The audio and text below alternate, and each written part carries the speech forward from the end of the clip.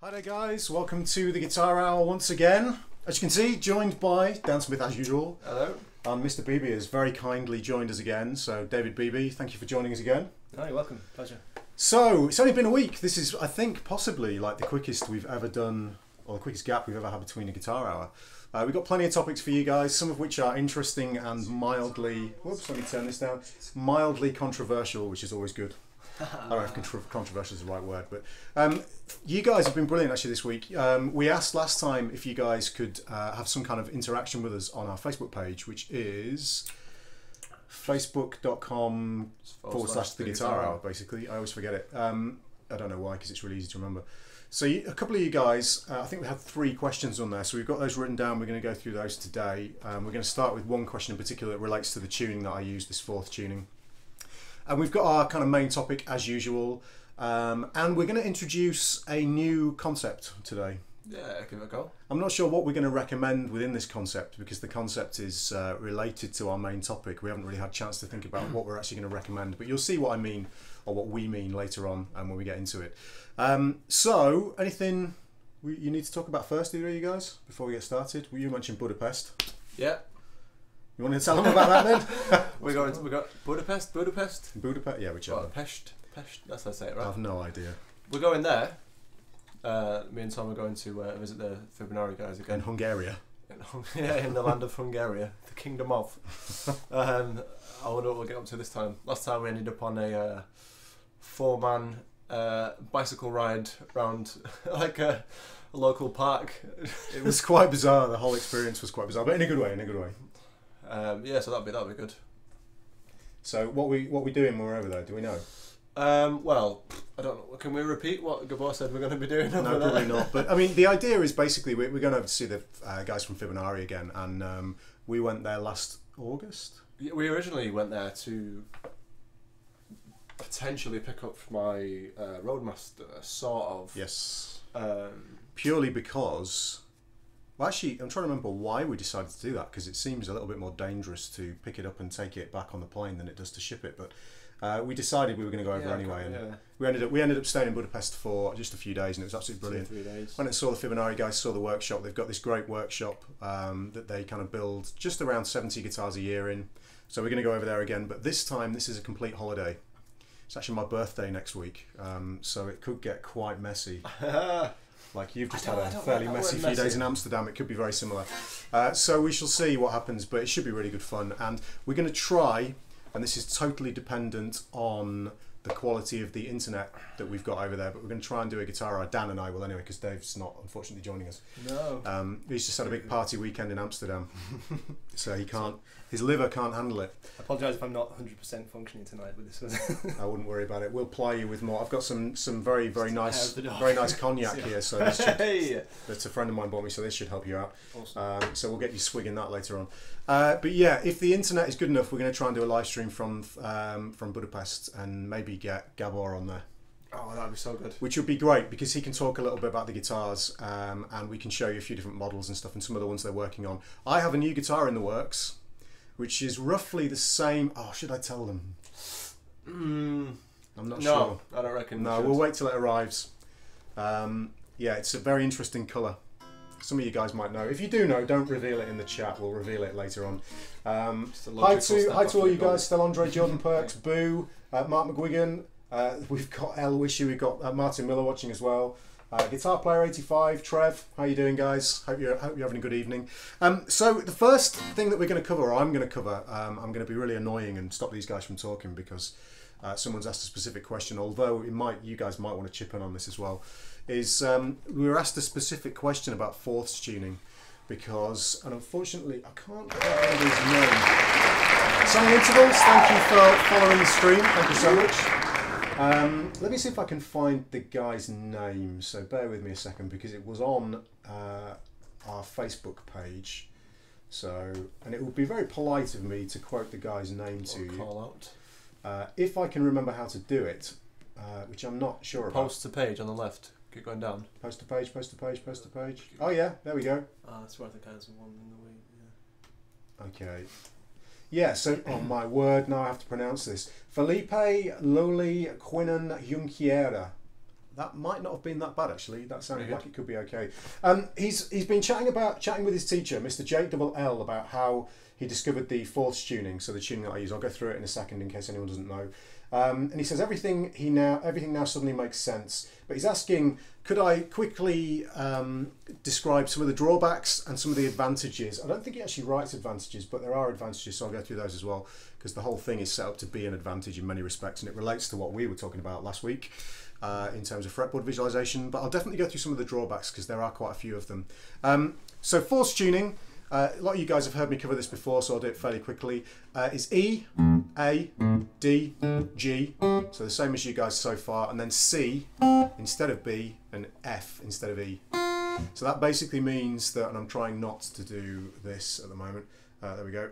Um, um, it basically means that all of the uh, the intervals between the strings are all perfect fourths. So E to A is a fourth, A to D is a fourth, D to G is a fourth, G to C is a fourth, and C to F is a fourth. Normally, you guys would have a, a major third between G and B, which is what these guys are tuned at. Yeah, if you've done the relative tuning thing where you do the. Uh, Yeah. You gotta, you know, you got to Tune into the fifth fret and then. Exactly. You got to move back. Essentially, you won't have to do that. Right? So you guys, uh, I don't know how well you could see because Dan's fretboard is slightly off the off the Oh. stream there. Sorry, that's my fault, Dan, for not positioning as well. Uh, so yeah, the fifth fret of each string, and then I, I actually tune to the fifth fret of the G string for my C string. Problem is, uh, say if uh, if you play an E major chord, you'll all recognise that shape. If I play an E major chord, Yeah. I'm so good at guitar. Jazzy. Jazzy, exactly. With with an F sharp on the top. yeah. Um, so basically, that means uh, I just played a G on the top. That shows how much I know. Uh, I was thinking in standard tuning. There's my F sharp. Uh, anybody that doesn't get why I'm saying F sharp, go on my Facebook page and check out a, stream, a post that was done yesterday by some friends of mine. It's pretty hilarious. Um, She get nightmares easily. well, yeah, don't watch it if you scare easily because uh, cup, cupcake, as he calls it, is absolutely Cupcake. terrifying. We'll go back to the chat here. Um, so it means I can't play all of the open string chords that you guys normally play and associate as being part of guitar vocabulary because all of this stuff, bar chords, none of this works. If you know your CAGED system, so you've got like an E shape, okay, then an A shape, a G shape, you know, so on and so forth. None of that stuff works anymore. However, the amazing thing about this tuning is a chord shape, this is my C major 7, is exactly the same in any octave and on any string set. Man, my fingers look really weird on this guitar. Little tiny fingers. Okay, so any chord shape or any arpeggio or any scale that I play, if I play a, a C major scale, that particular shape is exactly the same wherever I play it, so it makes the guitar symmetrical. So the downsides, because that's one major upside, but the downsides are pretty extensive. Um, first of all, lots and lots of vocabulary other than just chords disappears. If I play a blues, if I play the Stevie Ray Vaughan esque kind of,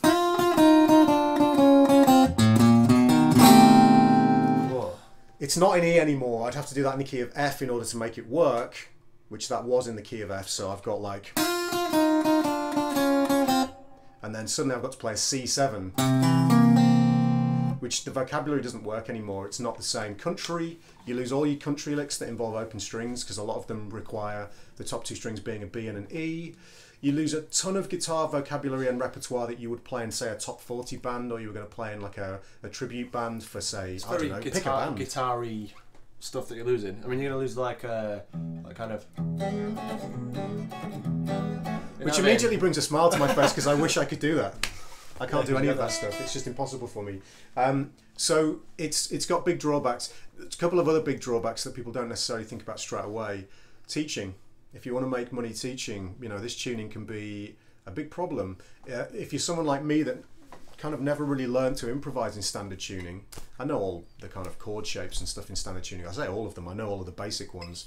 Um, it's only a difference of one fret, but it makes an enormous difference to you and to the student if you're switching tunings all the time. I used to work for Yamaha teaching, and uh, I had to teach in standard tuning, and my brain was just schizophrenic between the two tunings all the time. So if you want to make a living teaching, or you end up having to make a living teaching, this tuning is very, very problematic for you if you're teaching. And then if you're teaching standard notation, I don't know why I always call it standard notation. What other type of notation is there? I don't Graphical notation. Do you know. remember Oh yeah, the okay, that's true. Yeah, I hadn't thought about that. Waterkiss and Passion Warfare tab book. Very true, actually. I hadn't thought about that. So yes, standard notation does Does does Brian Eno kind of stuff. yeah. Something like that. It's like squiggly lines and stuff. Yeah. Yeah, like- That's true because there is some of that in uh, Alien Love Secrets, isn't there? Yeah. Um, so yeah, okay, standard notation. Sorry, just went off on one there.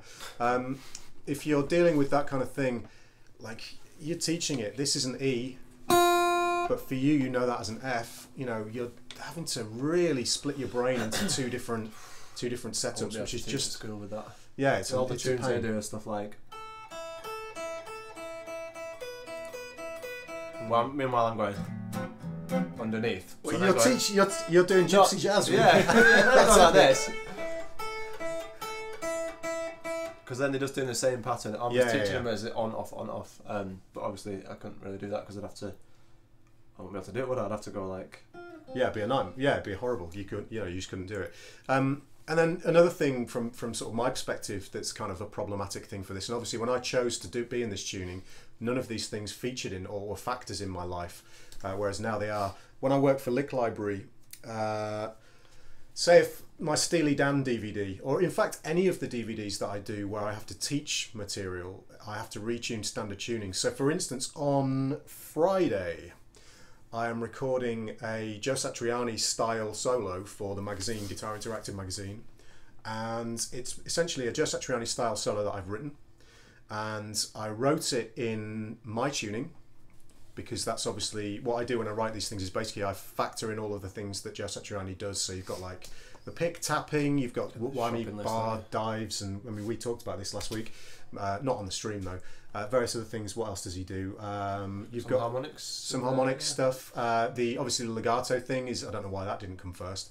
Um, so you factor all those things in, kind of and then I'll basically improvise until I find things that work and sound like you know the kind of phrases I would have in there.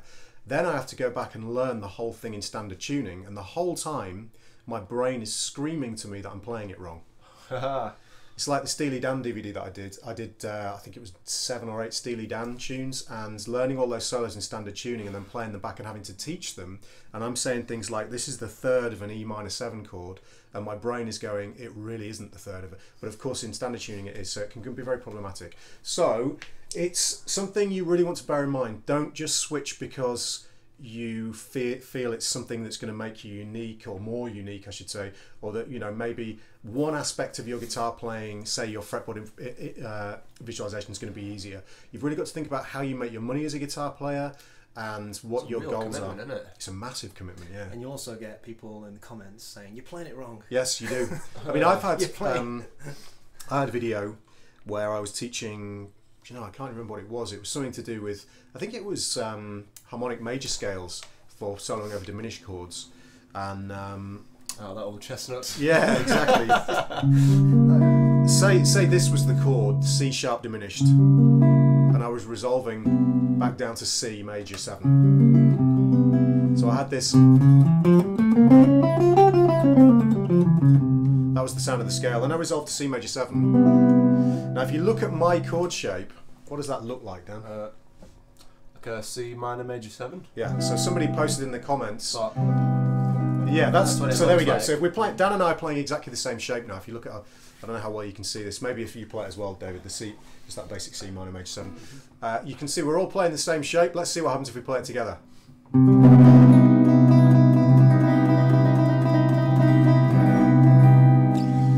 Really brilliant about that is if anybody joins the stream at that specific moment has never seen the guitar hour before, they're like, Yeah, "What the hell are these guys doing?" um, so essentially, you can see they're the same shape as yielded two different chord types. I've got a major seven. Now, I've actually had people post on my videos before, even though they've heard this, telling me I'm playing it wrong because I'm playing a C minor major seven. So yeah, you can get some people. It's not like a big deal, but you get people telling you you're doing things wrong when you're not. Anyway, so that's that's kind of. Um, you know the, the, the gist of it. So if you've got any again any more specific questions, get on the Facebook page. Um, we're going to struggle a little bit to actually keep uh, a real uh, kind of eye on the chat today because it's over here on the laptop. We didn't get time to set the laptop, laptop up basically. We didn't want to keep you guys waiting too long. So um, I might do that in a minute.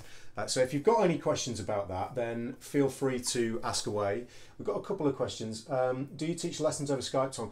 I do, but I haven't got any positions available at all. I'm completely full, unfortunately. So keep asking by email. I get a lot of people asking for Skype lessons, but um, you know, keep asking, and at some point I may have a spot free. Okay, so With the uh, with the, the the fourths thing, you like you said, you, you there's vocabulary that you said you've lost, not lost as such because you can still play it, but like that whole um, all that kind of open stuff. If you were doing like a product demo and it was uh, either an amp or a pedal that is geared for that. kind geared, of thing. like so, like a tube screamer or something that's Yeah, geared for that kind of like you know Steve Ray Vaughan esque, you know, or even if it was like you know you get pedals that have certain names that clearly harp back to a certain thing, would you would you tune down for that? Yeah, probably. Yeah, I think Right. you. I think you'd have to. It's like if you were reviewing. I've never had to do it, but say if I was doing the hot wired pedal, you know, the I don't know if you guys know that pedal, the Brent Mason Yeah, yeah, yeah. Wampler signature pedal. Um, I think you've got to really. I mean, you've just got to accept it's it's it's. Okay, so this is the tuning that I play in when I'm playing my stuff. But when you're employed, this It's, comes back real to what commitment, isn't it? Really, like to change. Yeah, I mean, it comes back to what you've been talking about. We talked about it last week, or if we didn't talk about it, we intended to talk about it. So this it might the kitchen. segue. Yeah, the, the guitar hour before the guitar hour always happens in my kitchen. Um, so we were going to talk about. So correct me if we did talk about this. I don't know if you guys remember this whole idea of wanting to do one thing but having to practice something else because it's what you're employed to do. Yeah. So from we- your perspective- briefly. I mean, I I have recently agreed to do um, a few shows, co- essentially Oh, yeah, covering right. a trombone player. Yeah. and I I've sort of agreed to it, and I've got to teach myself to read, Wow, read, wow, yeah, yeah, read ba- not to play trombone, obviously. With the trombone hour, I'll just come in next week. Um, no, to teach myself to read uh, bass clef in a month, um, and it's the it's a it's a quite it's quite an interesting project because it's like a it's like a kids book, but there's instruments are, are each character. So and it's it's about going to space and stuff. So the music's quite like there's some Is whole tone stuff and there's Is the trombone kid really fat? no. Well, I I am the trombone the trombone kid essentially. Just just Um, wondering, you know, bass clef and all. So yeah, I mean obviously I, I you know I've, I've been saying I want to really get a, a load of standards sort of under my belt, really know them inside out, and you know be able to reel them off and do solo melody stuff and really concentrate on that kind of stuff. But there's no money at the end of that rainbow. Whereas at the moment there's work coming in and it's like right I've got to do that now because I'm getting paid to do that and I can't turn up and do a shit job because you're being paid. Do you know what I mean? It's kind of it's disrespectful for to turn up and go, oh, have you learnt the stuff? No, but I can play the shit out of this augmented scale. Well, that's it. I mean, the reason the reason I bring that up is because if I'm playing something in fourth tuning, if I've learned a load of, I can I can kind of improvise whatever in this tuning. If someone then employs me to do something that requires standard tuning, I've just got to grit my teeth and do it, and it happens all the time. So although I say this is kind of a dilemma, you shouldn't really change. I always tell my students not to tune in fourths, which might seem a bit weird because it makes things easier. Yeah. Um, it's it's something that if you do tune in fourths and you've been playing a while, you still be able to tune back to. It's only a tuning, just just tune, tune it back down again for Yeah. for anything you require that you know needs to be in standard tuning. It's just a ball ache because if you've been doing it like I I learned the the fretboard in fourths tuning, so I don't know the fretboard like you guys do in standard tuning So at all. do you ever have days where you regret regret making that choice? Yeah, every time I turn up to Lick Library and have to teach something in standard Every tune. day of in my standard life. tune. Yeah. Um, there's two things I regret. The first is ordering guitars, not this one, but ordering guitars without fretboard markers on. Right. Because as you've, you've you've experienced, it's like you have to stick fretboard markers. We have these. In fact, I got a, an email about this the other day asking me where I got my fretboard markers from, which I thought was quite amusing. Um, seeing as they are literally just stickers from Staples or something that gets stuck. I mean, yeah. it's pretty obvious, really. But we stick them on because you know it's harder to keep track of where everything is on a guitar with no. I mean, this thing is perfect because the the inlays are so huge. I used to have one of these, and they're just amazing guitars. And you've got one with the fine tuners as well, which is the better one, in my opinion. Except I've never used them. no, nor did I. No, And I just, don't know- they're just bottomed out because I don't know. My tech guy just I think. Oh, he's screwed them right down. has he? yeah, they they released another one without the fine tuner bridge on, and everyone said it wasn't as good. So that's kind of interesting. Um, but yeah, it's it's just one of those things you just have to deal with. You know, when you're employed, you have to do the job that's been specified to you and get on with it without moaning. Like I make sure I never moan to anybody that, you know, if I'm doing a job, I don't go up to like the the owner of Lick Library and go, "Oh, "Why won't you let me do this in fourth tuning?"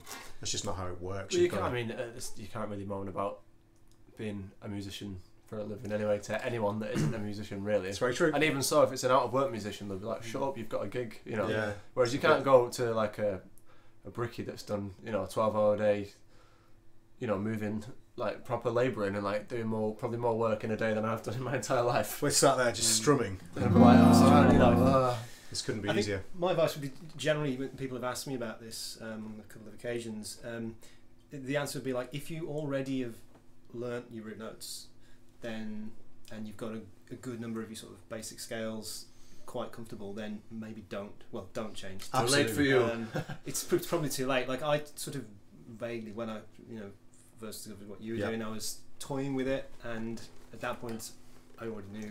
So you're the exact kind of guy I would say, bad idea, don't Don't- do it don't do because it. just doesn't make any sense because Yeah. you already know Yeah. So much of the fretboard and your whole mindset is based around that It'd be like changing religions or something. It'd be like that kind of completely. that massive thing Yeah. for to, to, to even it's just those two strings. But uh, Effectively a culture shock. It would I just can be. see the, the, the benefits from a s- like a single line point of view, which is why like bass bass players if they if they get goes up to a C or Yeah, yeah, they have I this. imagine it It's a just bass carries player on, tuning right? effectively. Yeah, Yeah, yeah, and obviously they're not playing like big chords, are they? You know, you're not going to see. I, No. mean, I don't even know. There's probably someone on YouTube somebody's playing like a. Well, they tend to play the, like the biggest But- thing they'll play is a triad. Yeah, like little. Yeah. Yeah. Those kind of shapes, And basically. little Yeah, various versions of that. yeah, Um, I can see the, the, the advantages of it there, but yeah, Because I, couldn't, I couldn't go back. the, the whole thing is the standard guitar tuning. We're going on about this too long now. We'll change question in a minute, but um, we got a really cool question after this as well. Uh, the whole thing with guitar was it as an accompaniment instrument originally, where you would play those kind of. Again, apologies, guys. You would uh, you, you would play these. And as you can hear, there are ways of playing those chords. They're just not as cool. You can't. You can play bar chords like this. It's not a bar chord, obviously, but I think my guitar might be clipping a little bit. Sorry, guys. Um, so yeah, there's ways around stuff. You know, it's just just whatever. It's it's one of those things. There's a few guys who do it. Alex Hutchings does it. Amazing, amazing player. I'm sure you guys have all heard of him. Um, and Stanley Jordan was one of the big proponents originally of it. You guys can probably name a few more guys that do it. There's a few. Um, a guy called Ant Law, just a fantastic jazz player. Certainly for jazz guys, it's a very, very useful thing. If you are playing any other styles, I'm not sure it's really worth it, to be honest. Um, so there we go. That answers that one. Next question, which we can all chip on a bit more because it's not related to something specifically that I do. Um, it's from Justin Bulmer. I don't know if Justin's watching. If he's not, uh, when he does watch it, hi Justin. Hope you're well. Hello. Uh, Justin basically is asking uh, an interesting question that's kind of a two part question, which is basically how do you relax or learn to relax in two scenarios? First is from a technical perspective, when you're playing live versus playing in your studio at home or in your bedroom at home or whatever. How do you get the same technical facility uh, that you would have in your studio or bedroom? Uh, you've probably all noticed this that when you do gigs, the adrenaline's running, you feel the pressure and stuff, and then suddenly you find that your uh, technique is not what it was before. Not necessarily from an improvisational perspective, but just generally your technique suffers a bit more on gigs. And then the second part of the question, which I find even more interesting, is how do you learn to relax and take your not take your time so much, but just get better at sight reading, standard notation, and charts. Okay, so two different things there, and I can kind of chip in on this. Uh, I have a few techniques for, for doing this, but I don't know if you guys have got anything, any advice in particular, or any even just experiences of this happening, so that Justin doesn't feel like he's the only guy that this ever happens to. Uh, Or I advice, think, I whichever. think, I think with the with the like the reading thing and charts, I think there is there is a strange kind of uh, sort of otherworldly little mindset you have to get into. You can overthink it and end up tripping yourself up. Whereas it, you sort of have to get it to the it kind of does it itself. See what I mean? Like with with the because I like I've, I've been doing the trying to read the bass clef thing, and it's sort of it's removing that little stutter of oh what's that or where is that, and by the time you've done that, it's too late. The note's already gone. Do you know what I mean? Yeah, same with chord charts. Yeah. Uh, Or getting notation. Or yeah, yeah, exactly. getting it getting it to the point where um, it's I think with any of these things, it's getting to the point where it's it's better than it needs to be to do the job, so that when you do the job, you can relax a little bit and it still comes out. You don't really want to be on the edge the entire time. Very true. Um, I mean, my reading's not as good as it should be, but some Keep of those things you sort of don't you don't do it unless you need to do it as a guitar player Yeah. because you, you don't need it to communicate on the instrument initially anyway.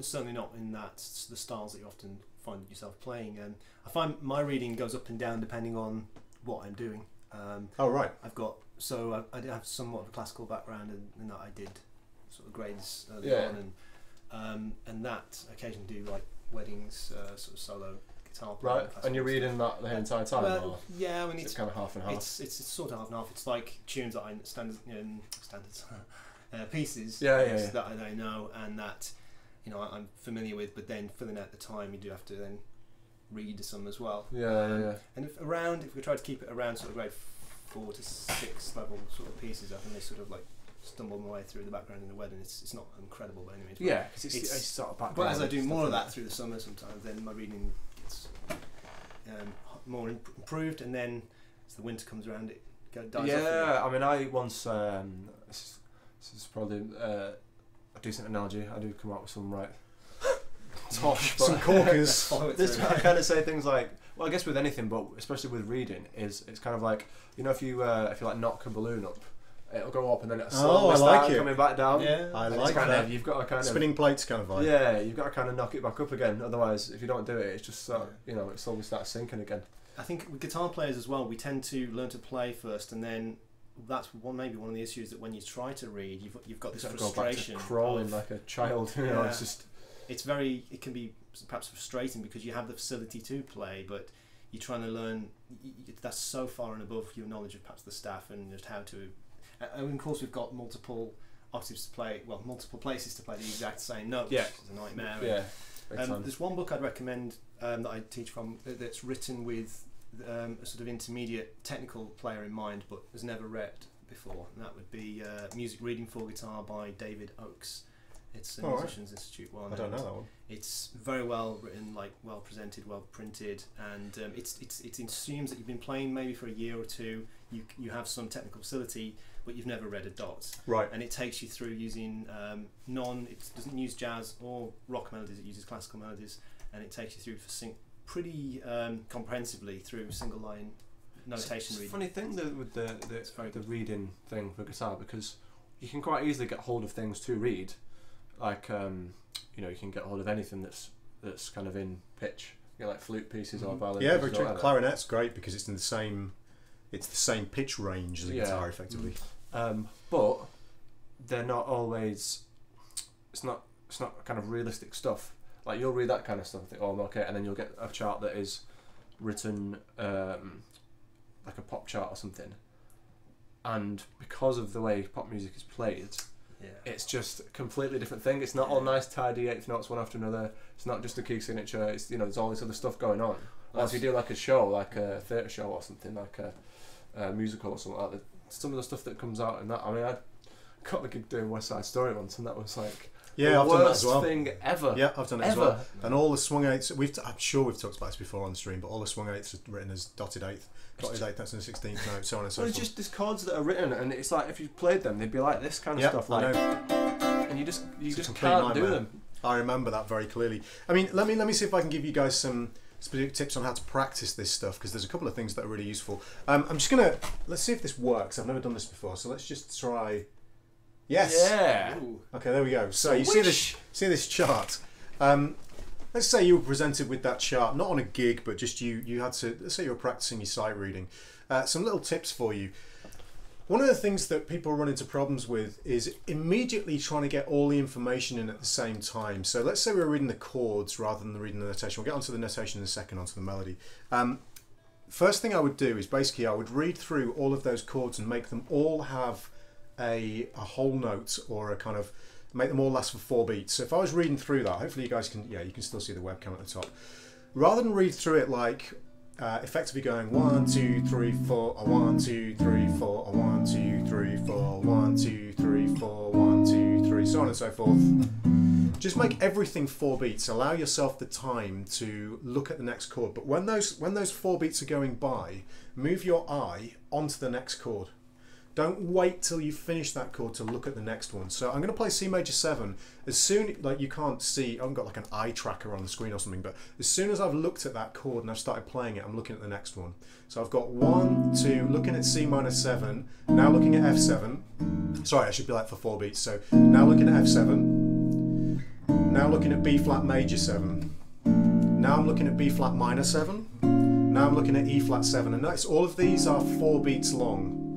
Okay, I'm not playing the correct amount of time for each chord, that can come later. I'm just playing through the chord chart as it is, uh, as if everything was 4 beats long. Now that process can be used, this, you can do the same thing with your standard notation. So for instance, I could play just the rhythm but play everything on the same note. So I'm only reading the rhythm as opposed to reading all of the information at the same time. So if I, I'm going to play everything on a, on a C, if I counted myself in, if I had one, two, three,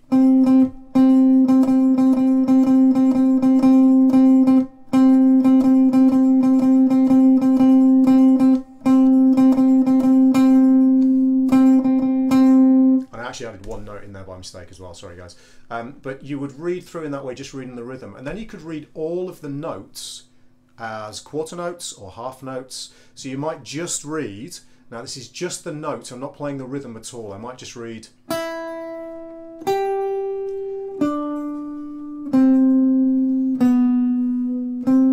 And again, every time I play a note, I'm looking at the next note along. I'm not staring at the note that I'm playing, I'm looking at the next note. Okay?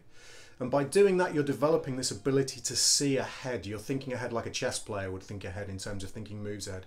You're learning to look further forward in the score. And like, I guess you guys do the same thing when you're sight reading. You're always looking, you're never looking at the bit that you're on, you're always looking, in some cases, guys look two or three bars ahead. Like if they're really good read. I mean, I, I It's probably like, look um, two or three notes ahead, probably. like Ronnie O'Sullivan, or uh, it's like playing snooker. You're like four Yeah. shots ahead, or chess. Exactly. It's like you, you know. It's a strategic uh, approach that's going to allow you to become better at this kind of fairly complex complex thing.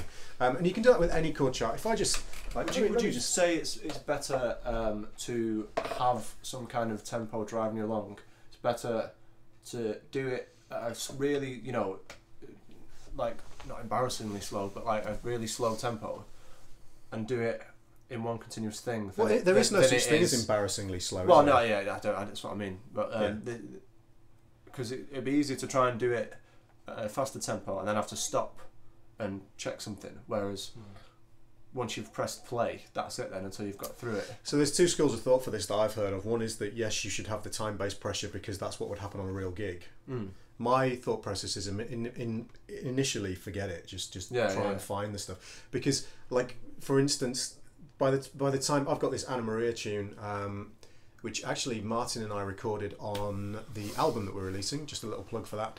That's coming out fairly soon. Um, if you're going to read something like this, obviously you're already at the level where you should be able to kind of be able to look at the next chord and find it fairly quickly. So at that point, I would have some kind of metronome involved. If you're reading through, let's go to all the things you are again up here. If you're reading through this for the first time, and you've never read chord charts particularly to a great extent, it might take you 30 seconds to find F minor 7. Yeah, yeah. And at this point, by the way, we're not worried about the kind of voicings that you're playing. I would stick with what they call shell voicings at this point, which is root, third, and seventh. And you're just literally taking as long as you require to find the next chord. But again, it's this whole thing of give yourself the strategic advantage. I almost couldn't say that word. Strategic advantage of don't stare at the chord that you're on. Like once you've once beat one's happened and you've got the chord, you've It's got such a you've got thing. two, three, four to be looking what's next. absolutely. You don't go like one, two, three, four, and then Yeah, but people It's do. easy to get paralysed by that, though. I think a lot of my students do that in that there are so many options. Okay, not initially, but even if you're somewhat more like you're beyond the very basics, because you can go into other positions and play the same exact note. Yep. Making making those decisions can be one of those things that stops people from moving their eyes along. Um, what you could do on something like this tune, where you've got pretty much um, geographically the same, like four bars Yes. per line Yeah. is read like say bar one and then to get your eyes moving then go straight on to bar five then Just- the one okay, yeah, so down. just- I may not be explaining this very well but you could force your eyes to make bigger jumps bigger leaps around the page. Um, and now this obviously is not useful because you're never going to do this but it trains the eye to just be darting around a little bit more than how you perhaps would be if you're just staring frozen on each bar one at a time uh, in the normal way of linear. Yeah, makes sense. Yeah, You could you could do any numbers combination as well, like have a little grid and go from one to eight. Then just to get used to moving yeah, right just that eye around, so you're not staring. There's an interesting question here as well. I'll be interested in what you guys think about this because I have quite an unorthodox approach to this, which is not necessarily a good approach because I don't teach sight reading hardly ever. Um, how do you decide which area of the neck to play in when sight reading? Now, when I do this, I'm a bad boy. I just start somewhere, usually in the middle of the neck, and I will use any some kind of weird, awkward fingering to get me around. Um, I am not a position-based reader. I don't know about you guys. I was only. I mean, uh, you've probably been taught differently because you said you got a bit of a classical background. Oh, of course. I, yeah. I just kind of got taught um, if you put your first finger over the fifth fret, second finger six, third finger seven, and then you kind of learn which notes are under these fingers. Perhaps, yeah. You can kind of, and then you allow yourself one fret that way. So Mhm. essentially, the range is from here, chromatically up to here, which is kind of most tunes, unless it really darts around. You know, from reading like uh, standards and stuff, you can get most stuff out of that just that little that little position Mm. and you start start learning that all right you know I've got a D under that finger an A under that finger and then you can kind of go from there and you allow yourself so uh, like a B you go to there or, you know you kind of allow yourself one fret either way and then you can, you can do it without looking then. So you're not the temptation is if it if it goes say uh, D to uh, G some guys might go and then just Okay, yeah, jump. do do you know that, what I mean? Like some some you know unnecessary jump or once you go out of position you can kind of end up going well I don't know where the note I don't know where the notes are there you see what I mean you kind of so I was just kind of taught that one little place and then I've just sort of taken it from there I'm just wondering if there's some bark kicking around somewhere. I don't know where it is though. It's probably in a pile of stuff down there. And I well don't know there- why. there's a book that I used um, when I was kind of shedding to go on ships called I think it's called Sight Reading for the Contemporary Guitar Player I think Right. and the way that is laid out is you've got various it, it, it kind of it does it in keys to start with. I'm not sure I can't remember if it gets sort of chromatic or anything like that later on but say it'll, it'll start in C and then it'll be positional based stuff and it'll kind of be the same melody and it'll say right play that in positions one and three or whatever. And then it'll get a bit more difficult a bit more diff- rhythmic and then the last couple of examples are positional again but more than one note. So you're reading like two or three notes. So you kind of get used to doing like a piano player would and you know it's, it's a lot of sort of little um, like little sort of triad movements and stuff like that so you kind of get used to seeing which notes are moving and which ones aren't and it's I've not done that kind of stuff for a while but it was it's quite a useful book So out of interest, let's just uh, show you guys this. Um, taking that first phrase, where would you guys play that phrase? uh, Uh, up the uh, different up the octave rather than down in that octave. So if you're going to play it in like a, say you're playing a chord melody version. So where are you starting? I You- always gravitate to the middle of the neck. Me too. Yeah, so that's really interesting. So I I would play that here. You guys the same? Perhaps, yeah, it's because you you're in you're in the middle and you can jump either way with relative ease then into that octave. Well, of course, know how I feel that, that's the thing. That whole first phrase all fits within that small area of the neck. Yeah. yeah.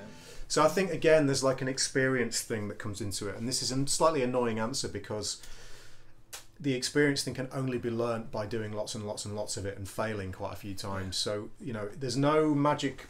They call it a magic bullet. I think they call it. Uh, no, there's no magic answer to this. I don't know what they call it. magic bullet What is it? Isn't the- what you use for making smoothies or whatever I've no idea. um, don't know, actually, like that- magic formula Magic, Magic. formula will do. Magic formula. There's no magic formula for this in terms of how I mean, to I- approach. I tend to go off either the highest or the lowest note. If you can kind of look at it and go, right, well, it gets pretty. Oh yeah. You can quite, you know, you can- if you look at it and there's loads of, you know, ledger lines for days, you know you're not going to be able to get it down there. You're going to have to kind of go somewhere else. Um, Hmm. But even then, you know, Sorry, there's an interesting thing here. Uh, Tim Wing 8. Studying functional harmony changed the way I look at, looked at sight reading. I started hearing things when looking at the page, which is kind of interesting. That's very true as well. You know, when you see a line, um, after a while, you've been playing long enough, you can sort of hear, almost like sight singing. I've never been good at sight singing, but you can hear the line, um, which is very important. And in actual fact, that can cause issues for me sometimes. If I've heard, I don't know if you guys have experienced this, but if I've heard a particular recording of a song, so this used to happen with When Sunny Gets Blue all the time. I'd heard Kurt Rosenwinkel's version from East Coast Love Affair. I think it was on East Coast Love Affair. And the way he phrases the melody, when I look at the chart and read the chart, I want to play it the way he Oh, yeah, yeah. has played Right. it, and then I'm reading the notation and I'm trying. I'm actually trying to squeeze notes that aren't on the chart in there, and getting very confused because it doesn't look or sound the way that his original version does. That's another thing with, with reading as well. I, I think if you can already, if you can already play a little bit, you might sort of you you're kind of in that fight between actually reading it and then what you think it's going to sound like. So you might jump to you might just play something because you think oh that's how it goes, and then when you actually look at it and go oh no that's not it's not quite how it goes. So I mean, yeah, kind of in, in between actually reading it and letting your ears There's, there's take over and play what you think it's going to be. Absolutely. There's another weird phenomenon as well. Like um, when I did some a load of gigs with Adam Nitti, um, his charts are really, really complicated. Yeah, I've seen some really, really yeah. hardcore kind of fusion stuff. And so I, I knew I was going to do the gig, so I learnt the charts. But unless they were in front of me, I couldn't play them. That's where I'm not. I'm not space reading them, stuff. I'm not. I'm not reading it, but you you sort of see you see four bars, and if you didn't have the chart, you couldn't play it. But weird. when you've got the chart in front of you, you're not actually reading it. Yeah, absolutely. I don't know what weird, that isn't is. It's like a just, it's like a prompt almost. Yeah. You can sort of see the shape of it and it's something to do with We half and half. you know. Something of an issue with well, I know I have an issue with just like memorizing things and reading things at the moment with standards and Yeah, I I can't just- remember anything. yeah, you got, you're the same. Yeah, well, I forgot to bring a guitar to this. You know what I mean? Yeah, Dan forgot to bring a guitar. It's bad news. I'd say one more thing about like um, sight reading and mu- reading music as well. Try to. It might help to cut yourself some slack. I mean, guitarists have a horrendous reputation for reading, um, so even if you can do a bit of it and you can. Uh, I'm not, not saying don't work on it, or don't practice, but just having the having a good musical reading level is different to say just sight reading go Yeah, and there do absolutely. it perfect. I mean, I think it's much more useful as a working, perhaps contemporary musician to be able to read uh, read music quite well, be able to work things out quickly. You know, when you say second or third go through, but It's kind of core skills, isn't it? It's, yeah, it's don't not put just, pressure on yourself where you've just got to be absolute bang on perfect first time. And and we've we've talked before about how there's this myth that's perpetuated that that people, you know, theatre gigs, for instance, you walk in two seconds later. Uh, sorry, two seconds before the curtain goes up, they give you the chart. It's not the case. Uh, The only person I know that's happened to is you on cruise ships. Yeah, I mean the wor- the worst it, it got. I mean, like when, for instance, the cruise ship thing. When when you join a ship, there's maybe two or three production shows in a cruise. So say the cruise is ten days long. Three of those days will be different production shows that are set every time. So that it's like played to tracks, and it's kind of like a 70-30. It's supposed to be 70-30. Like the band is supposed to be seventy, and the tracks are thirty. Right. It's never like that, but. Um, so they're the same every time. So you get given all this music at the beginning, beginning of the week. So you can kind of go through it anyway. And the tracks there, so you can kind of, you know, Yeah, I think we can talked sort about of that like, before. you know, you can get out of some stuff. But the most difficult thing was uh, guest entertainers, which fly onto the ship. Um, so they'll join at whatever port it is midway through the cruise. I was going to say I thought you meant like you know like aircraft carrier no, style, like, with a hanging off like a, the rope ladder, like Chuck Norris. um, so yeah, and that'd be you turn up to rehearsal at four o'clock and you get given the music and you've got 15, 20 minutes while they're sound checking the mics and going through the lighting until you're just rehearsing it then and there. So that's kind of that's the wor- that's the worst it's ever got, and then not really. I've never been massively caught out with anything. Usually, there's a gap between that rehearsal as long as you get the tune doesn't you know the wheels don't fall off completely. I think what happens is later on you can look at it in your room a little bit and go over the little, little bits, but like some of the advice I've been given is uh, not like I ever have to do this, but some of the advice I've been given is go through the chart, look at the the points that might screw you up. Where are the repeat marks? beginnings and endings. Where it, yeah, where are the solos, code? Where's the know. coda? Where does the you know any any any of the points like if there's first and second time endings, so on and so forth. Because the worst thing that could happen to you is you get completely lost within the chart. One thing I would really really recommend you start doing if you don't already do this is buy scores for things, buy scores for transcriptions of solos, buy scores for musicals. Even Just if you hate music, I, I'm not a musicals fan, if you can. but yeah, well yeah, that's no. I wouldn't. Don't mean I don't I mean wouldn't like do that, I don't mean get your but- tights on. I mean the music the music that they hire for these things is the Yeah. same as the professional shows a lot of the time. absolutely, absolutely. So yeah. I mean I've got scores for like hairspray and stuff. Yeah, I've and got operas and stuff in there, and you, you open them up, and as the music's going, read through them, see if you can follow them, because that skill is really, really useful in terms of just knowing what's being able to say if you do get lost. One thing that a skill that's really useful to have is to be able to recognize, and this comes back to what uh, Tim. Wing Eight was saying in terms of being able to recognize a phrase on the page is being able to hear. Say there's a little a little piccolo part in a in an opera or something or whatever. You know, being able to pick that out on the score and then find your you're, you're grounding within score again, know where you are. That kind of thing. It's really easy to practice. You just sit there and do it, and you can start with things like again Bach. You know, uh, educate yourself on uh, some classical music. You know, uh, if you're not already into it, there's some amazing uh, stuff out there that you can listen to and get all the scores for for free. You know, it's all copyright free stuff. So you know, go get yourself on. Google. Just find yeah, exactly. They've all been dead long enough that no one cares anymore. Um, get yourself on Google and just you know get the scores. They're all for, available for free on the internet. And then go on YouTube or go on Spotify or whatever and try and follow along with the scores. And it will actually improve your musical ability, musicianship, and your ability to read as well. So that's quite useful. Even like the, the sort of pop stuff. If Yeah. you're if you've got like a you know like a if you've got a big theatre thing like a hairspray or something, and say there's like a, a certain chord or something or a certain bit that comes up or like you know a two four bar or uh, you know any of those little little sort of significant things. Like if if you just learn, I mean, you just learn what a certain chord sounds like, and then if you get a bit lost, you can go, oh, that sounded like a, you know, a seven sharp nine or something. Oh, there's one. We're probably around here now, and then you can sort of get back in.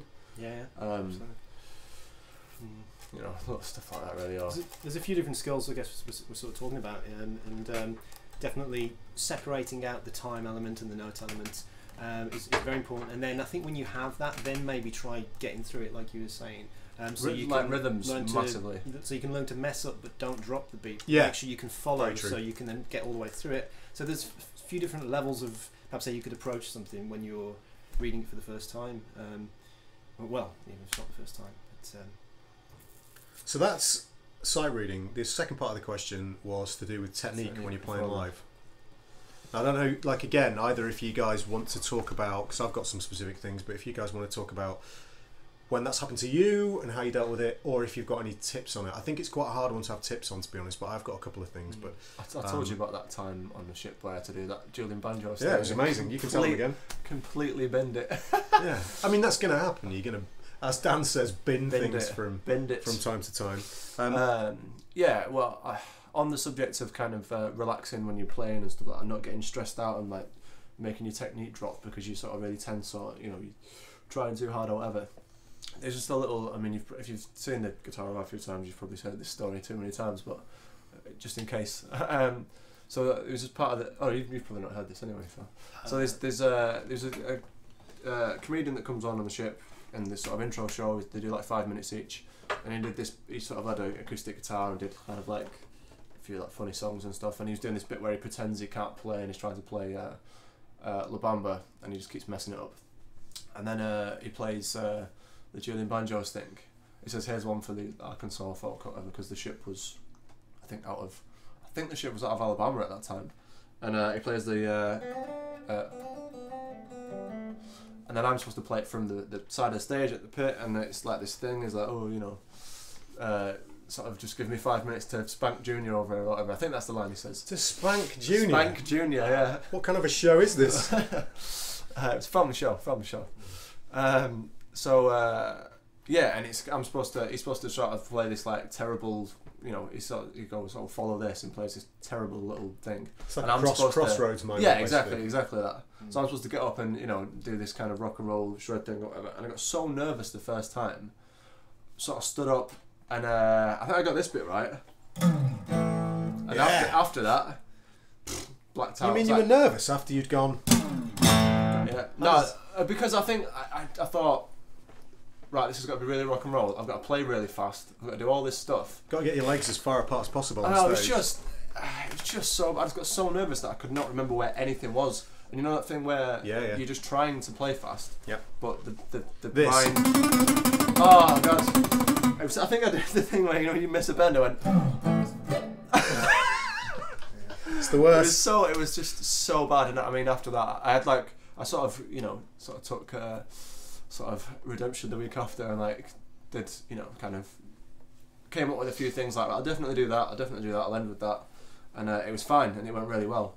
But oh, just that. It's your own worst enemy, I think. I think just don't worry about it. Wow. Try and relax and think about other things. Try and worry Now- about you know other things rather than the technical aspect of it and trying to play everything right. You know. So the, pr- the problem is, and I don't disagree with you in any way at all, but the problem is it's much easier said than done. Yeah, yeah. So the way I always sort of talk about this is, and this is from personal experience, I'm sure we've talked about this on the guitar hour before as well, but not necessarily in relation to this. So, the thing I would do, if, if you can, is I would put yourself in a situation which is more pressured than the situation you're having an issue with. Now, that sounds totally counterintuitive. You're thinking, well, hang on, if I can't play, say, you say you're nervous every time you go to a jam session, for instance, which people do, you know, Oh yeah, yeah, yeah. yeah. that, they can be quite pressurized situations. You feel like you've got to play something really kind of the, your best stuff or whatever. So you get up on stage and you're really nervous, and then that perpetuates. You become more and more nervous every time you do it. If you put yourself in a scenario that's kind of more high pressure than that, um, you'd have to figure out that would be unique for each person. So maybe you do. Go and join the firefighters or something. I don't, well, no, no, a musical scenario. I'm not Oh, saying. okay, all right. I'm not saying go and rescue. Jump out of a plane. Yeah, I'm not saying go and rescue kittens from trees, um, but you know, um, it's one of those things. If you can find something that's a musically more pressurized environment for you, then the thing that you found nerve wracking beforehand seems in- insignificant in comparison. So, like for instance, me playing at trade shows in front of 50 baying guitar players who can't wait for you to make a mistake means that when I go and do, I don't know, some other kind of gig, you know, that's more kind of less pressurized, it just doesn't factor in my mind at all. Um, so I'm just looking. It's, uh, that, that's the first thing, trying to put yourself in that scenario. The other thing is, I would say that be aware that in terms of your technique, if you can so say your highest level of technique you achieve is here. Okay, I don't know what this number is. It's 100, whatever. Your level of uh, technique on your gig maybe is 70 or whatever. But the minimum amount of technique that you require to be able to execute your music is say 50. So there's this there's this big buffer, okay? So if you practice stuff to the point and this just involves playing and practicing a lot, a huge amount to get the technique up to the point where it's comfortable enough that if you have 30% of your technique knocked off, you can still play. Hi there, Kudzus, Kudzus8, thank you for joining the stream. So one of the things I was always conscious of with my legato playing, because that's the thing I always have to do, it's the thing that people always want me to do, is that, you know, so we're, we're in a, a live scenario right now. If I mess this up, it's going to be there forever. But the thing is, I'm not, yeah, and then I've got him going, scrub, scrub. The thing is, I'm not nervous about it because I've done this so many times in front of people, you know, what's the worst thing that's going to happen if it screws up? It's not the, it's like the Dr. I think Pepper there's that thing. There's that thing of thinking, oh, if I play a wrong note, that's it. I'm the worst guitar player ever. Uh, do you know what I mean? Or if you do, And of if course- you're soloing and you do a bend that's out of tune, or you hit the wrong note, or whatever, you bend up to the wrong note, you think, and you can properly beat yourself up about Does that say long whip? wrong, wrong whip. Long whip. Thank you for joining the stream. Thank you so much. But I mean, it's just one of those things. You know, you have to. You just gotta let it go. You, yeah, you've because nobody else cares if you make. I mean, as long as you don't keep perpetually the thing is, if you, uh, you know, as long as you don't let it ruin the gig and everything else is, is great, you know what I mean? You don't, as a guitar player, you don't concentrate on the 99% of it that was really good. Or there's nothing wrong with if you're feeling that way inclined that the, unless of course you have to perform a specific part. Like I, I get way more nervous for gigs if I've got specific things I have to play. Yeah. Like if I had to play uh, Peaches en Regalia, for instance. You guys know that tune? Da, da, da, and I had to play that specific part. It's written, and I had to play it exactly, and it's very hard to play. I'd be way more nervous than if I had to improvise. Uh, but let's say we're on improvisation style gig, and you find I used to find this all the time. I'd improvise solos, and my technique would die. Um, there's nothing wrong with just taking a bit more time to uh, relax and just allow yourself to play some more melodies. You know, if you're if you've got this kind of vibe going on, you don't always have to be. You know, it doesn't always have to be that. It's a really obvious thing to say, but if your if your heart's racing and every time you think about playing fast, you're you know feeling stressed about it, allow yourself just to play.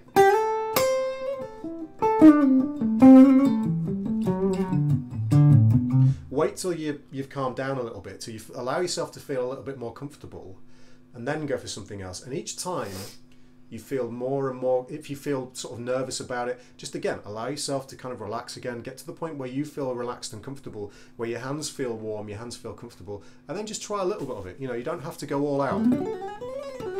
It's kind of irrelevant. You know you, you you just have to do enough that's comfortable for you. And over the course of however many months or years of doing these kind of scenarios you'll just start to feel more and more comfortable with it the worst thing you can do is make the situation 10 times worse by always going for the stuff that's the most complicated, the hardest to pull off, the most technically difficult, and screwing it up every time. Because those are the kind of gigs where you walk off stage and question whether you should even be playing the instrument anymore. Yeah, yeah, yeah. They're awful. I've had loads of them, you know, uh, loads and loads of gigs like that. They don't tend to happen so much anymore because, again, those two things are sort of developed the technique to the point where it feels comfortable. I, I can play what I need to play at 70% of my technique level, you know. If I'm having a really good day, 95% might happen and then it's like okay this is this feels amazing you know this feels really good and you get gigs like that uh, most of the time it's probably 70% but it's getting that technique to the point where it is 70% is acceptable It's just getting it like reliable, isn't it? You know what I mean? It's things like are they getting picking reliable, or like you're working on the uh, the sort of swing swung sort of- swing eighth note thing, yeah, uh, which is just a nightmare so trying to get that reliable and that that uh, real thing that uh, Arkansas Traveller thing that I have to play. oh I arse that up near enough every time I play it. yeah and it's okay I've got to record You- that as well. you're, you're allowed to get things wrong on gigs you know it's live it's not And the It's other like thing this. is as well that this isn't a small thing, but if you're if you do all your practice hunched over your guitar, sat down, and then you go That's a to a good gig point, and you've yeah. got to do it I stood up, to mention that. It's is that what you're going to say Embrace the necklace. yeah, Absolutely.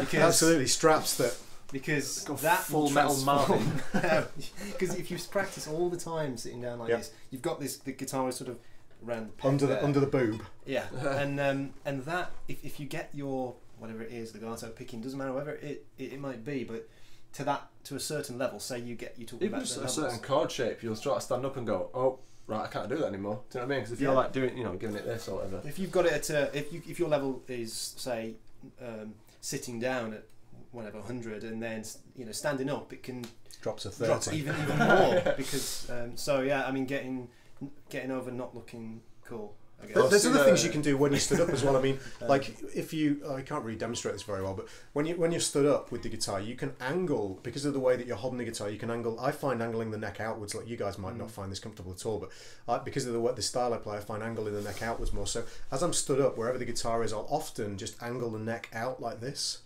Or I've seen guys like Andy Wood. They will put one leg up and prop the guitar on the leg when they're stood up like this. thing. So you get more of the kind of angle that say someone like Joe, that kind of classical Joe Pass esque kind of, where where even even the stretchiest of chords become kind of moderately okay to play. I can't think of one now, but maybe uh, something like. If I had to play that stood up with the guitar in standard position, it's just impossible to actually. I've got it now because I've already gripped it, but you know the guitar's not in standard position anyway. But it's just a nightmare. Whereas if you angle the guitar up, you know that's a chordal thing. But from a technique perspective, you know it all feels different when you stood up. You've got to practice that way. It's really really important. Um, Fusion chin strap or metal knee smasher. Dave Bronze, you're a genius. Have you seen the Um, the Kotzen interview? Fusion Chin Strap. There's, there's, the, there's Rich Kotzen interview about um, it's like a it's like a gear one, and he's talking about his guitar, and then he sort of stands up and he's talking about like he says if he gets something really complicated, he'll kind of go down on one knee and like. You know, he says if you see him do that, you know some shit's about to go down. And then he sort of he goes on and says if if a guitar's if a guy's got his guitar like this high, I just can't take him seriously. But then he says, but down here doesn't work either, so he's kind of opted for. I don't know why you can't. thing. Why can't you take someone seriously? If like, I mean, you can watch Alex Hutchings play. It's there, and man, you don't take that guy oh seriously. yeah, That's Or your issue. it's just just Richard Kotzen being Richard Kotzen. well, of course, you know the guy's as rock and roll as it gets, but you know, I think the Um, higher, the more serious it gets, isn't it? Yeah, the quite- higher it is. I mean, I'm if quite it's like, just trying to, to end up like. If you see a guy coming into a fancy- yeah like that, Jesus Christ, this is going to be amazing. I'm going to have my harmony brain blown away. Um, so that's kind of interesting, but that that's a lot harder of a question to answer than how do you get better and kind of not better. There's a lot of things you- involved. It's like technically there's some things involved, and then maybe psychologically there's probably even more involved. And Well, of course, because a lot of people do suffer from stage fright. I mean, we've talked about this before on the Guitar Hour, but Joe Satriani is renowned for having horrible nerves before gigs. Uh, but obviously, the deal with Joe Satriani is he can cope with those because A, he's experienced, and B, he does it all the time. You know, it's like he has to be able to Yeah. deal with that. So that level of he's probably done gigs that are much higher pressure than the gig you go and see him at. So he feels comfortable in that scenario. Certainly, from my perspective, you know, we, we've talked about this before as well, but you know, I play generally in front of, as I mentioned before, baying crowd, crowds or baying guitar players with rooms of guitar players. Yeah, exactly.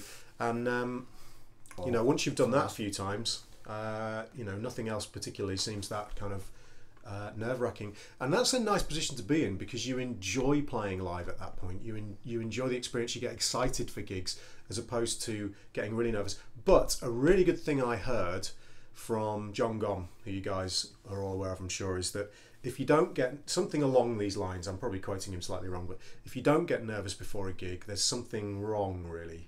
Or if you don't get nervous before an important part of your playing, there's something wrong because you know that's just part of the process. You know it's like athletes. I used to do this is just revealing a weird thing that i used to do. It's not weird but you wouldn't expect it.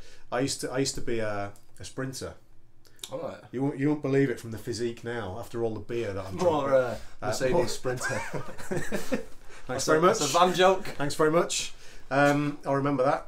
Uh, yeah so i used to do sprinting and i mean i got so nervous before the gun went off at the beginning of every single race i had to stop doing it couldn't do it anymore it was just horrendous Oh, I've got, a good sports story. I, I did that. One, the only time I've ever, I'm not really the sporting type, but I, I uh, Really? you know, like sports day, you know, you have sports day, so Yeah, you, you get sort of, you do one event for your, for the your sack school. race and the egg and spoon race I'm not going to ignore sack race for a minute. um, so I, I was doing the doing the doing the uh, hurdles, and uh, in practice, been really good. You know, hurdle fine. Got really nervous. Just sort of You set, off, it, set off a bit a bit too uh, vigorous. Clipped the first hurdle and fell under the second one. That was it. Sports day over. yeah, well, that's, im- imagine that, but imagine you've done it at the Olympics. I mean, that happens. That's well, you'd be famous. You know, right? well, very true, but for all the wrong reasons, you'd be viral. That's for sure. Um, you know, just it's really difficult to answer in a kind of uh, succinct way, but you've got to do a lot of gigging, a lot of playing in front of people at any point you possibly can, and try as possible. And if it all goes horribly wrong, tell yourself it's not the end of the world because it isn't the end of the world. I'll just concentrate. Even though it feels on like something it. else. Just concentrate on a different part of it. I mean, don't you know, worry about playing everything you know really well. Sort it's going to sound really, it's going to sound really odd, but maybe sort of worry about making it a good show and make it, worry about looking good and sort of, you know, projecting a bit out to the audience, and then the playing will sort of come a little bit easier. I mean, I when I first joined the band, I was kind of obsessing about playing everything right and stuff like that, and you know, learning the tunes and all that kind of stuff. And once I sort of loosened up and was like, "Oh, it doesn't matter, I'm just gonna have a good time. The playing's easy because you concentrate on something else. Do you know what I mean? The playing's just there. You can kind of you get yourself to You can the, the same the, the stage where the playing is just it sort of does it itself. I just there's a no, I don't know if you guys will get this, but uh, Richard Langard has put hi Richard by the way. Uh, well, now Tom, the face you pulled when turning around and fighting Hadrien Feraud, the bass player, wanting a jam, that was one of pure nervousness. I, I, I played it. We were playing at Musikmesse. This happened to Martin as well, Martin Miller, and we both. It was at different years, and I think one of I don't know if they were both at Musikmesse or one was at NAMM. Mine was at Musikmesse.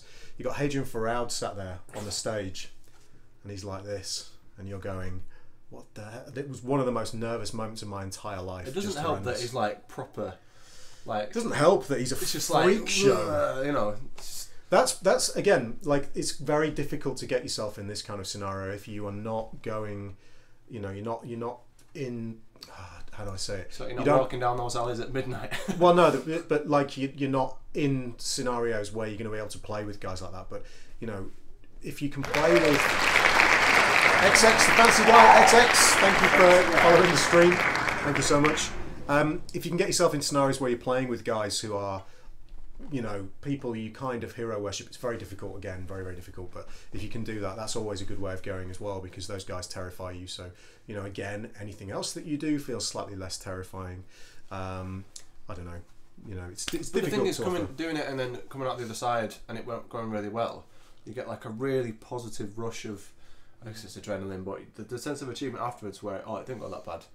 Yeah, I mean, don't, massive. You know. try try not to be one of those guys that um, if you say say you go to a say your hero is Steve Vai, and you go, you know, that's fairly plausible because the man's a genius. You go to one of his what does he call them? I can't remember the, the clinics he does, the master classes, something experience or something. I don't know what he calls them. Um, so you go to one of those, and there's an opportunity to play with the guy. You should be the guy with your hand thrust right up in the air, you wanting to play with the guy, because you'll be hideously nervous. You'll be in front of a load of guitar players. Once you've done it, you know, provided it doesn't go hideously badly, provided it goes okay, which it probably will, Yeah. because Steve, say for instance in that scenario, Steve's going to be really encouraging. He's going to be really nice. Steve Vai praises you. You've played with Steve Vai on stage. Everything else seems a little bit less nervous after that, a little bit less kind of difficult. Um, I realise that's not a scenario you can do every day, but if an Yeah. opportunity like that comes around, be the guy that says yes and grasps it with both hands. I've regretted sort of backing out of those kind of things. I mean, I've been to masterclasses with you and Rick eight like a few years ago, and it's like, does anyone want to get up? And I've just been like, you know, and there's there's actually And a again, time in uh, easier said in, than uh, done. in Texas where there was a band playing, and uh, I wanted to get up and just sort of try and jam lap steel with them, and uh, they were playing like tunes that are well kind of jammable, but I just I didn't, and then they just kept playing tunes that I knew, and I was like, oh, well, I wish I'd got up, and just didn't. I really regret that now. And once, once how, you, how am I ever going to come across that situation again? Well, the other thing is that once you put yourself in that scenario and you do say no, it's ten times harder to say yes the next time. Or if you if someone invites you to, to play on a jam session and you say no for the first few tunes, it's then you've put yourself in a scenario where it's much harder to say yes for the next few tunes. Yeah, yeah. You just or there people are won't ask you again. They're just like, Yeah. oh, really? She's not up th- for it. th- there are points where it's a wiser decision to say yes and then deal with the. Now, this is not always the case, obviously, but it's it's wiser to say yes and then deal with the consequences immediately afterwards than it is just to not do the thing that you sh- you you know you're, for want of a better term, chickening out of, essentially. Um, so it's always a good idea to kind of be the guy that goes, yeah, me, me, me, me. You know, um, just because it's going to make you much better at dealing with pressurized situations. Um, oh, Richard Lingard, be quiet. Don't be daft. Um, yeah, there we go. Tony's jam with Vai was fab. Uh, Dave Bronze jamming on Steve Vai on my bucket list. It doesn't matter who it is, you know, whoever you get the chance to jam with, it's really important that you, you go for that. Um, how are we doing for time? One hour and ten minutes. My word, we'll probably have to draw this to a close at some point very soon, which means that we probably won't be able to get onto our main topic again. This Which is is just kind of- follow up, isn't it? Yep. Essentially. Uh, we've, we're just going to end up listing loads and loads and loads of topics. Um, so, I guess what we should do is just a few kind of housekeeping things, um, and also introduce this new section that we're going to be doing. And I'll probably, uh, yeah, I am actually going to recommend something to you guys as well. So, first of all, let's introduce this new section, which is entitled because Dan came up with it. I'll let Dan tell you what it's called. Uh, we've gone with if you like, if you like that, you might like this kind of thing. Genius. And this is this is kind of stemmed from seeing um, uh, Tom's earlier post. I mean, we, we haven't really got time to go into it. We haven't, unfortunately. We'll be here Um, for two hours. Essentially, it was about. If we can go into it, it was about. We can't write. it. Would you want me to say what it was about, and then you can do you can do. Well, your- essentially, it was people assuming certain players have come in and they've just do that certain one style, and there's nothing that's sort of gone before it. Yeah. Quite sort of. Um, They, they, they are the be all and end all of guitar, and nothing else came before, nothing else comes afterwards. That's that's it basically, and everybody must be influenced by those people, by that Yeah. person. That everybody must listen to that person, surely, you know, so on and so forth. So it's kind of like a fairly blinkered viewpoint of guitar playing. yeah. So we, we thought it was kind of important to kind of maybe for guys who aren't so familiar with some of the older stuff, or not older stuff, but just kind of classic records or classic guitar It's players. where where these guys that are seemingly, uh, I don't want to say flawless, but these guys that seemingly have it all stylistically and uh, and that kind of thing, where they may have got some of these things from, or if you like certain aspects of their playing. For instance, uh, just an example off the top of my head is that kind of country thing that Guthrie does. There's probably guys that think, well, that's country. I don't need to go anywhere else. I'll just get it off him. Um, whereas he's probably got that from a few other guys, you know, maybe Brent Mason, Danny Gatton, you know, numerous others. Um, and then there's the other, you know, other parts of the plane where you can go right. Well, where did that come from? Kind of like uh, I don't know whether to whether to say this now because I don't want to annoy him, but you know, like the, the the picking thing that Martin's really good at. You know, Yes. the fresh ducks thing that. It's kind of like the Steve Morse thing, right? Yeah. Which I think he said is a Steve Morse thing, so I'm Mhm. not gonna. I'm not saying, oh, you sound like Steve Morse. Um, but you can you can sort of go, oh well, well that's cool, and rather than just going to that one guy and saying, right, that he must he must have invented that. You know, you can sort of go about well if you like that, go back and see this guy, check this record out, check this out. You know, kind of uh, Well, that's So the idea, Rather anyway. than assuming that person invented it, use it as a springboard to go back and discover cool music. And Yeah, 'cause, Absolutely. I mean, uh, and it's because there's so much stuff out there. it's quite hard to know where to go. You know what I mean? I, mean, I remember going to my guitar teacher uh, ages ago and like hearing uh, like a little riff or a little like a bend thing or something, and it's like, oh, you're doing that thing, and then it's check this guy, this guy, this guy out, and then it's like, oh right, great, and then you you you go in with it, you you go into some music with a a bit of a focus. Then it's like, all right, I'm gonna go and steal that that that guy does, you know, um, who probably didn't invent that either. Yeah. So I mean, I, I've got basically. Um, let me find a couple of things for you to uh, listen to if you're not familiar with them. Now, one, one of the things I was going to say was, um, yeah, there we go.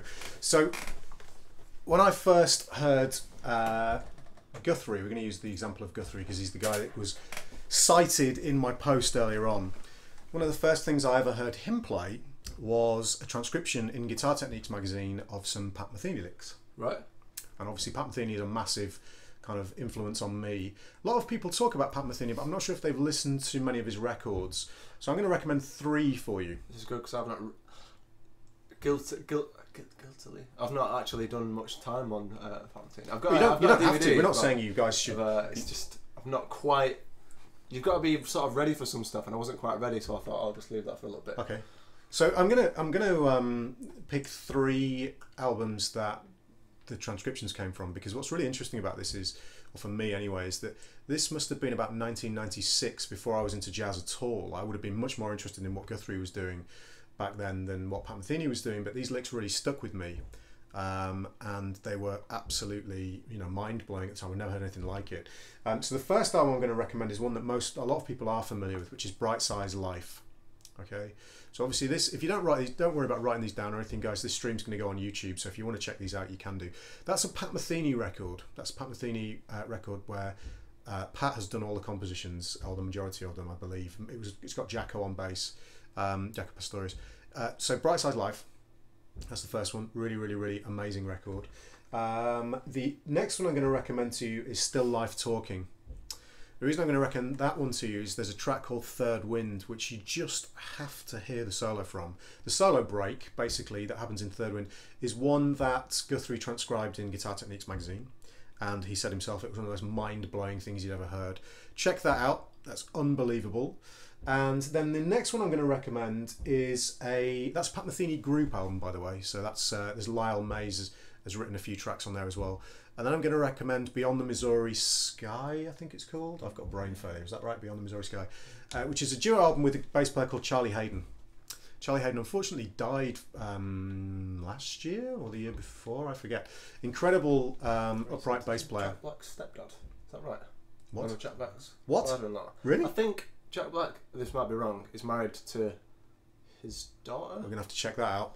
Um, so Beyond the Missouri Sky, Still Life Talking and Bright Size Life, those three albums. And they basically will give you a very wide view of Pat Metheny's playing. Um, because one is very early, the next one is kind of a middle stage, and then the, the, the one after that is it's still a you know a relatively it's not a new album by any stretch, but it's certainly a more modern sounding album. Is Um, this all just original gorgeous. compositions? the majority of it, 95, no, not that much. Uh, Beyond the Missouri Sky has got some arrangements of some Ennio Morricone tunes, stuff from Right. Cinema Paradiso, uh, various other tunes, uh, or various other films on there. So it's absolutely gorgeous, but it will give you a really good overview of how lyrical his playing is, how technical his playing is, and how compositionally astounding the man is. It's unbelievable. And again, if you want to listen to those albums and follow through the scores, you can get the Pat Metheny Real Book at all good vendors, whatever vendor you want to get it from. I don't know, Amazon or whatever. Um, Amazon now owe me some money.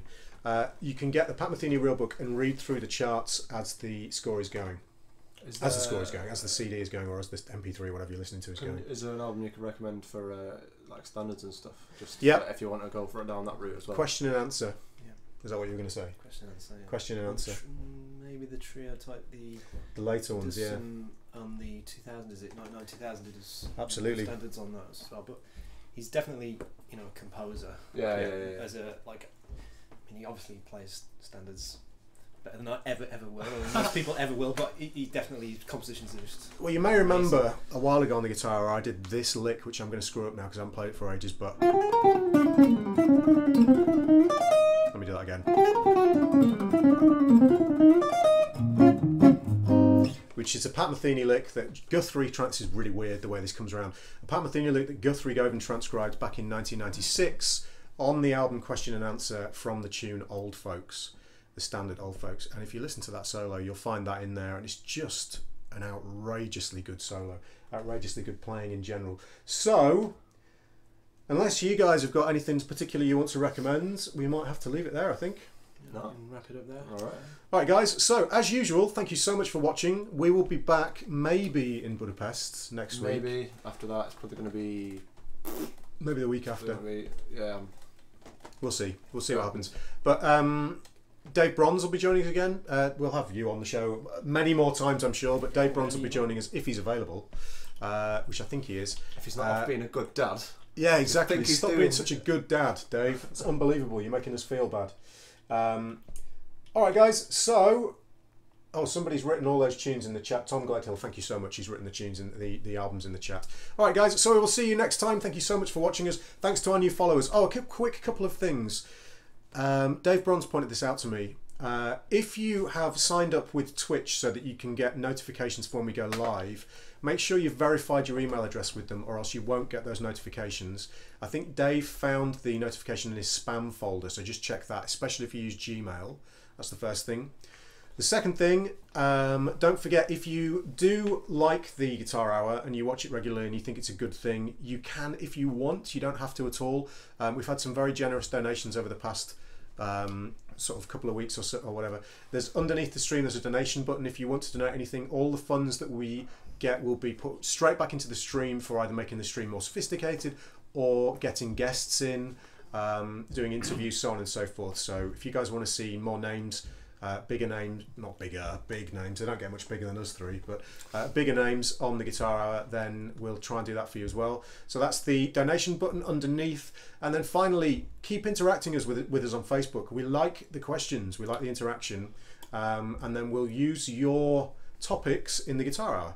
So long as, as I mentioned last time, it's not how do I play jazz, you know, something that's just this massively broad, open-ended, unbelievably complex subject. We will do our best to answer your questions. Stuff that you might get in any kind of guitar forum or Yeah, exactly. you know what I mean, that kind of thing. Exactly.